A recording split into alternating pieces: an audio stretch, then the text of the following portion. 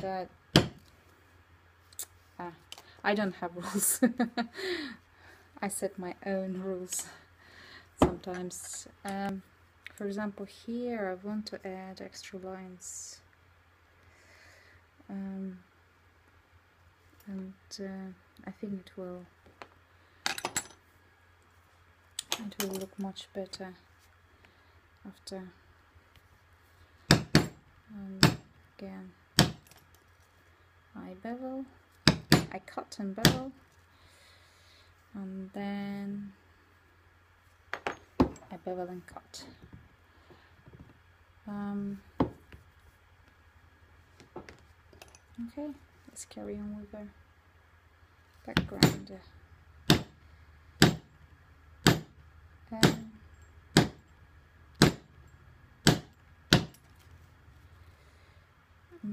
not really um, pro pro in what I'm doing. But I hope I will be I will be there one day. And uh, I hope I have what it takes. Um, okay. here I'm doing simple steps which um, are quite understandable for most of um, leather workers and um, they won't find the first parts of my video very interesting of oh they won't find anything new probably. But uh, I don't know. That's a way to do it okay here it is. Um, I added uh, this additional cuts I think it will bring up some shadowing. Okay uh, another thing uh, when you do your sketch um, you need to look at your sketch um, in three dimension and uh, you need to um, think about what will be your background what will be your lifting part and what um, you're going to keep as between what is lifted and um, your background. So on your sketch you can even shadow and um, um, and mark for yourself so when you work along the your your beveling you know what you you're doing or which part you're following. So in my work I will use now my modeling spoon and I will shadow this places. I want to shadow them. I want to bring them a little bit down. Uh, why? I don't know. I want I think it will look good um, okay. I will also now um, uh, do it on our stem stem leaf I don't know. My pattern is a bit surreal.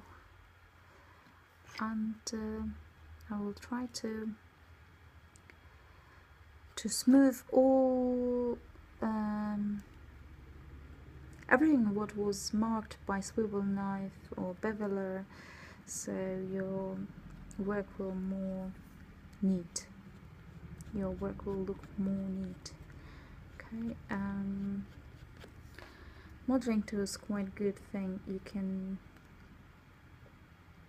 you can practically draw with it. Okay so next step is um, undercut tool and uh, I'm going to use this undercut tool so I'm going to start with the big petals.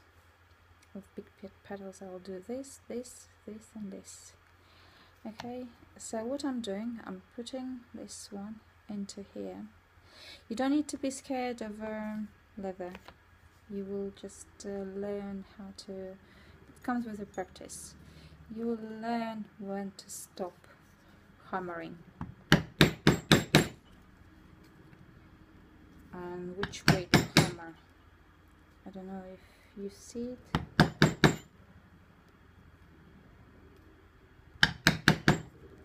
This is the undercut. This is how it looks.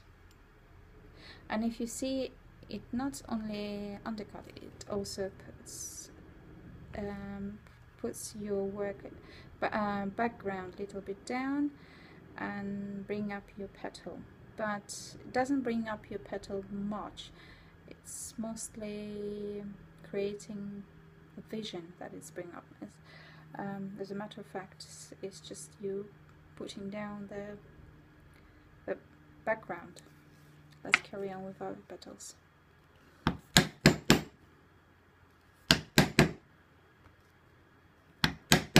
Um, regarding the moist of your leather, uh, you need to, to be sure your leather is not over dry, otherwise you will just rip your, your work on pieces.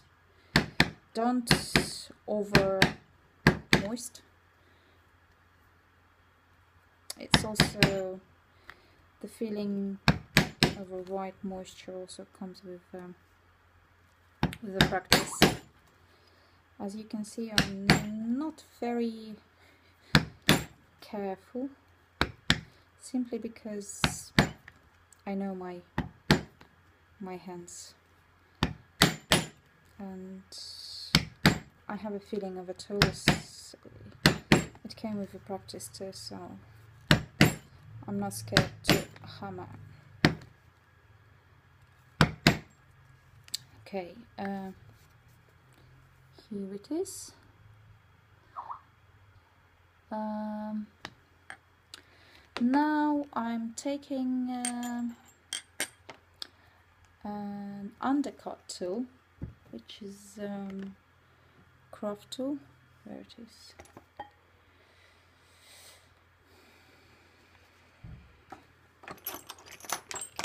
Silly me. Just in here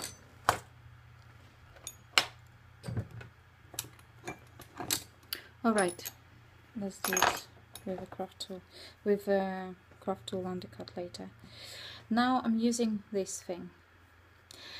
You need to check if your leather is uh, moist enough before you're using this because it will shift your petals further and uh, for example I here feel like it's need a little bit more moist so what I'm doing, I'm putting inside, as you can see, and I will hammer. As you can see, it uh, went inside